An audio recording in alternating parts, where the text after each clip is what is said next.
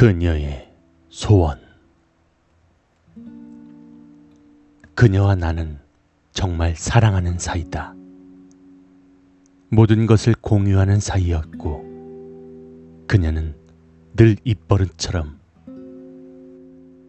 우리 태어난 날은 달라도 죽을 때는 늘 함께야.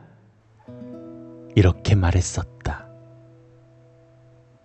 하지만 그녀는 불치병을 앓고 있었고 결국 돌아올 수 없었다. 발인 전날 새삼스레 그녀가 떠났다는 게 믿겨지지 않았다.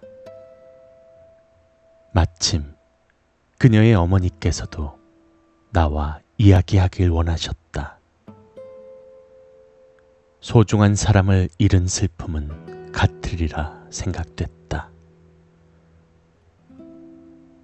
항상 고마웠네.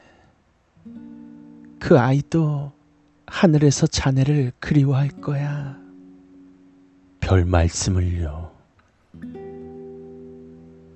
딸을 잃은 슬픔 때문인지 어머님의 표정은 어두웠다. 죽기 전부터 그 아이가 부탁한 게 있었네. 부탁이요?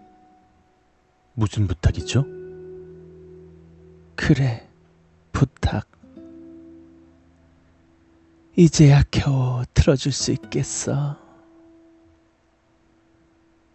애인의 어머니와 이야기를 나누는데 이상하게도 졸립다. 어머님이 주신 커피를 마셨는데도 졸립다. 눈이 무거워진다.